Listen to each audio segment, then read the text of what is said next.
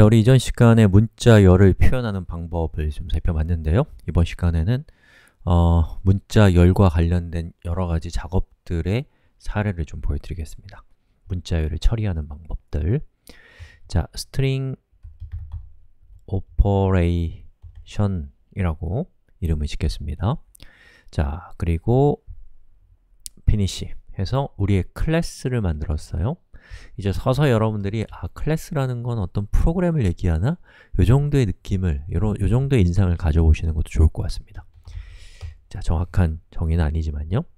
자, 제가 hello world라고 하는 텍스트를 가지고 있어요. 그런데 어떤 이유에 의해서 저 텍스트가 몇 글자인지를 세야 되는 경우가 있다고 한번 생각해 봅시다. 자, 이때에 여러분이 저한테 협조해 주셔야 될 게 있어요. 뭐냐면 극단적 사고를 하셔야 돼요. 무슨 말이냐면 저기 있는 글자가 10글자도 안 되지만 여러분이 이 공부를 하실 때는 저게 1억 글자라고 상상을 해보셔야 된단 말이죠. 여러분, 우리의 소프트웨어는 또 코딩은 결코 단순하고 작은 문제에 다르지 않습니다. 왜냐하면 코딩은 어렵고 복잡한 일이기 때문이죠. 자, 근데 우리가 다루는 일이 복잡하고 거대하다면 코딩 따위는 그렇게 어려운 일이 아니란 말이에요. 그래서 상상력을 발휘해서 제가 1억 글자라고 생각해야지만 우리가 지금 하는 게 어, 대박이라는 생각이 들 거란 말이죠. 자, 봅시다. 자, 그러면 그럴 때 여러분이 어떻게 하면 되냐면 여기다가 length라고 이렇게 해주면 이게 어떻게 될 것 같아요? 저 1억 글자의 문자가 몇 글자인지를 우리한테 알려줘요. 실제는 1억 글자는 아니지만요. 실행하면 보시는 것처럼 얘가 11글자라는 것을 알려줍니다. 대박이죠? 장난 아니죠? 자, 그리고 이런 경우도 한번 생각해 볼까요?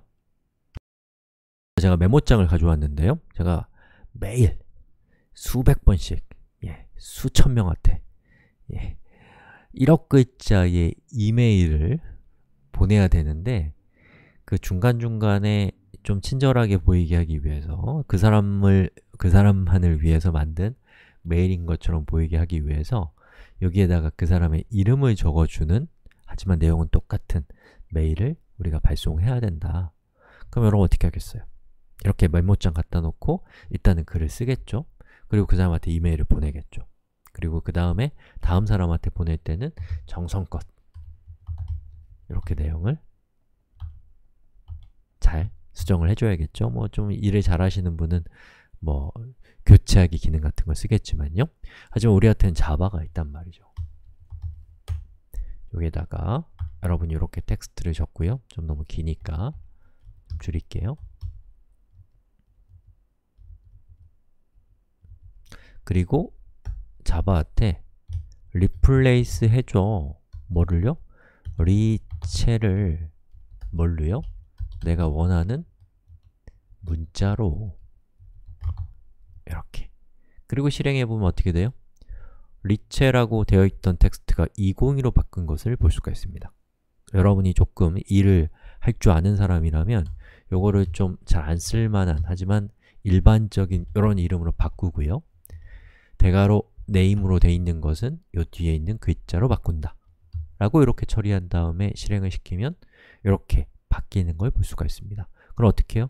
여기 있는 거 카피해서 여러분이 이메일을 또 보내고 그 다음 사람한테 보내고 싶을 때는 여기는 이제 do로 이렇게 한 다음에 또 실행하고 여기 있는 거 카피해서 또 이메일을 보내는 방식으로 문제를 해결할 수 있다 라는 겁니다. 예.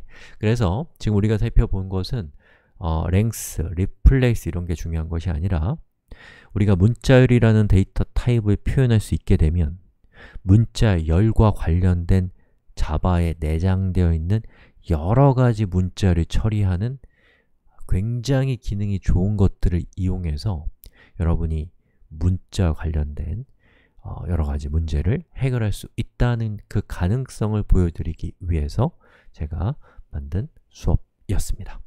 자, 처음 시작하시는 분들한테는 이 정도의 가능성을 보여주는 걸로 충분할 것 같습니다.